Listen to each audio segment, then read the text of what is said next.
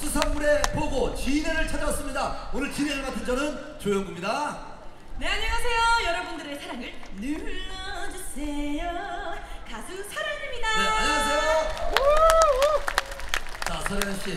오늘 네. 진해에 오니까 진해 바다 내음이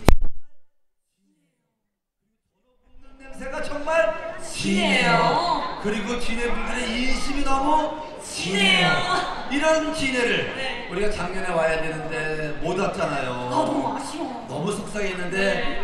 오늘 이렇게 진해 여러분들과 함께하게 돼서 너무 기쁘고 행복합니다. 저도 너무너무 좋습니다 자, 우리가 특별히 또 찾아온 이유가 있죠? 네 그렇습니다 올해는 진해 싱싱한 소산물을 함께할 수 있는 축제도 함께할 수 있어서 음. 즐거움이 두 배로 될 수 있을 것 같은데요 우리 여러분들이 아쉬움 남기지 않게 길게 그리고 행복하게 보내셨으면 좋겠습니다 자, 우리 가요 베스트를 지금 전국에서 지금 많은 분들이 보고 계시면서 와! 진해에 놀러 가야 되겠다. 어, 진해에 저녁 먹으러 가야 되겠다. 네네. 라는 생각이 들 수 있을 정도로 오늘 저희가 진행을 잘하고 가수들이 멋진 무대 만들어 드릴 테니까 여러분 마음껏 즐기시기 바랍니다. 여러분 즐길 준비 되셨습니까?